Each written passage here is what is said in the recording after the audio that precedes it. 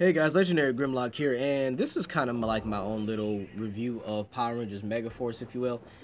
And uh, don't hate me for what I'm about to say, but I didn't like it.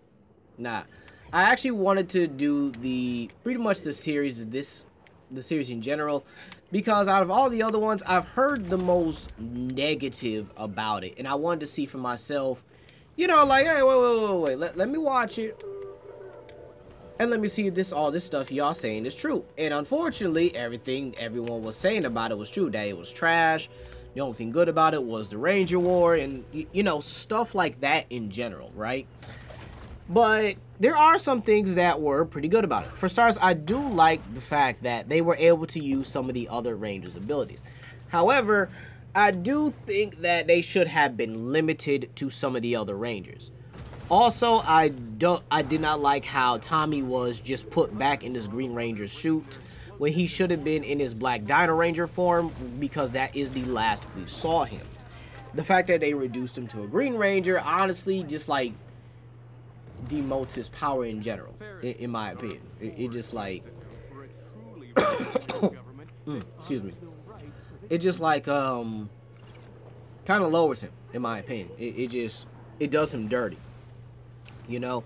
Because Tommy went through a whole trial just to get a power stronger than the Green Dragon, stronger than the White Tiger and the White Falcon and the Red Zeo. And then here he is in black. And now y'all don't put him back back back to square one. Like I, I, I don't understand why they did that in general. them being trained by the other Rangers, I do have to admit that was pretty good here.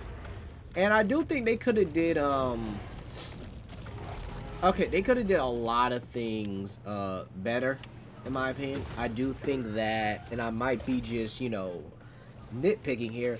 I do think they could have had their own abilities like the other Rangers. I do think that, yes, I did like the fact they were able to use the other Rangers' powers and abilities because it makes them super overpowered. So now you have pretty much a power, pretty much a composite Power Ranger, if you will.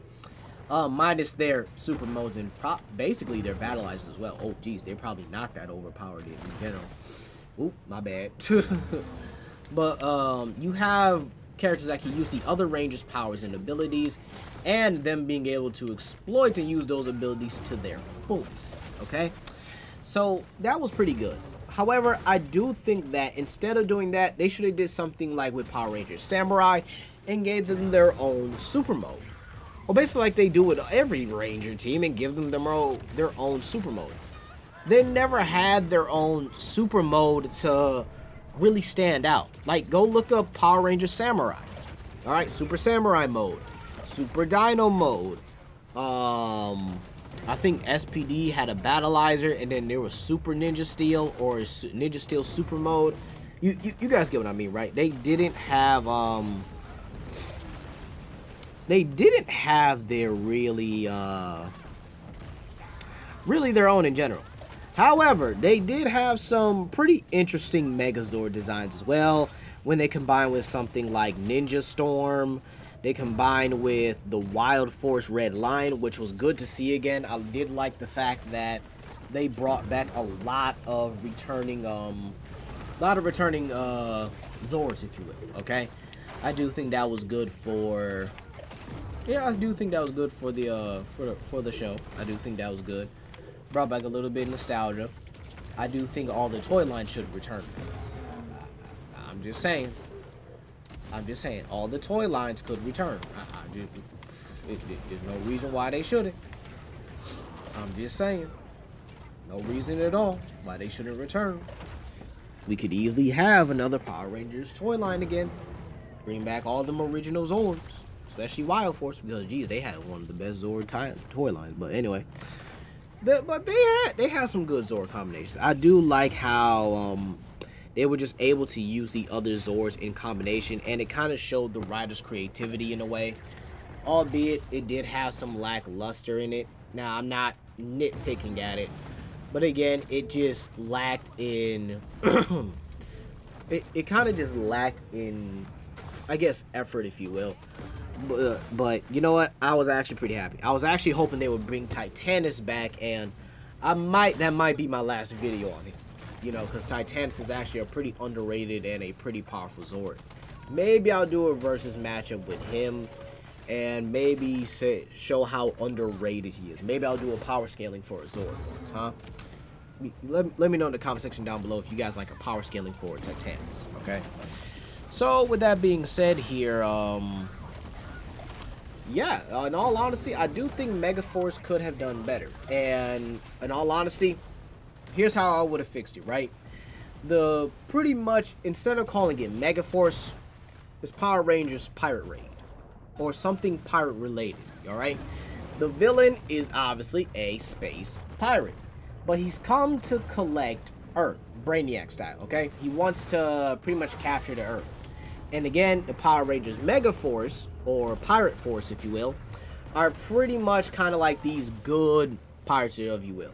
Pretty much like these Jack Sparrows, if you will. You, you know, they're pirates, but they're good people. But, but they're good. They're kind of like the Ocean Police, all right? Basically SPD, but for the sea, all right? So these guys would be able to pretty much do, you know, sword fighting. They would have their own pistols like in the original. Because again, they fit the attire of being pirates. And again, I would say their Zords are the same. Except their Zords are more based on aquatic creatures.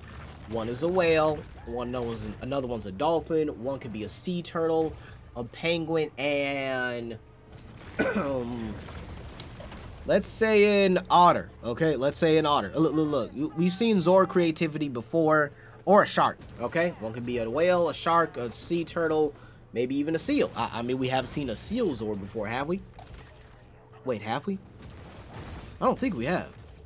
Anyway, anyway, I do think it is pretty important that. oh wow, I'm so sorry. I do think it is pretty important that these guys stand out on their own and the villain could be something like Blackbeard the alien or something. Blackbeard the space tyrant or Necrod or Galacticor. You, you, you know you you guys already know. They they they be thinking out some outlandish names for these villains. Sometimes they be a little out of pocket out of pocket looking. And maybe he could be like, you know, the Flying Dutchman from um Power Rangers. So in all honesty, uh,